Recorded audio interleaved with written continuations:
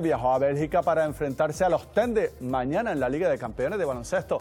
Pendiente, eso sí, de la evolución de Bogris por un golpe en el gemelo y de David White con molestias en una rodilla. Según Chubido Reta, el rival llega al partido en racha.